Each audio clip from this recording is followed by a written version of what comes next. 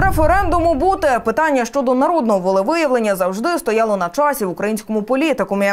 Тож політична партія Батьківщина визначилася із темою першого плебісциту. На прес-конференції у Києва голова політсили Юлія Тимошенко оголосила про небезпеку обезземелення українців, що за її словами розпочав активізувати президент. Скільки небайдужих громадян вже долучилися до організації всенародного волевиявлення та коли пройдуть збори ініціативних груп? Далі у сюжеті.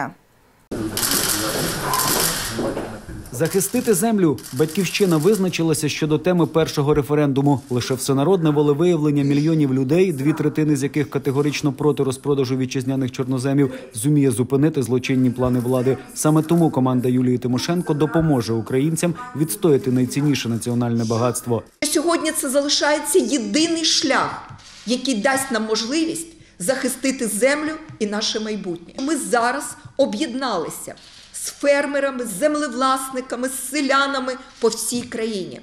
І ми разом з ними ініціюємо цей всеукраїнський референдум, щоб не продавати сільськогосподарську землю, особливо під час війни. Юлія Тимошенко переконана, сьогодні без війни українців намагаються позбавити 72% території, перетворивши державу у новітню колонію, а всіх жителів в батраків на своїй власній землі. Останнім часом президент активізував процес обезземелення українців, і наслідки такого плану у випадку його реалізації будуть трагічними. Більше сільськогосподарська земля не буде приносити прибутків Україні. Вона буде приносити прибутки іноземцям. Більше не буде давати мільйони робочих місць, як в Польщі, тому що буде зачищене фермерське господарство. Україна залишиться і без доходів, і без прибутків, і без майбутнього, тому що землі будуть позбавлені всі прийдешні покоління. На сьогодні до організації всенародного волевиявлення вже залучено десятки тисяч активістів по всій країні. На 22 травня заплановані збори ініціативної групи, яка займатиметься збором підписів. Задля безпеки людей в умовах епідемії батьківщина вже звернулась до ЦВК із проханням дозволити провести цю процедуру в онлайн режимі. Ми ще з вами і перевіримо, наскільки слова президента Зеленського про те, що референдум за ініціативою народу для людей доступний, ми з вами ще перевіримо. Наскільки для людей доступний цей референдум?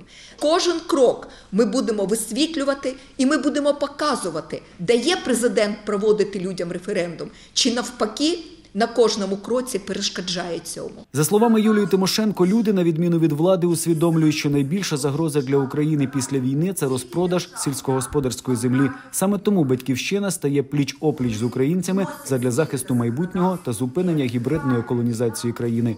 Ми з вами зобов'язані захистити українську землю. Зараз життя країни в наших з вами руках. Будемо діяти.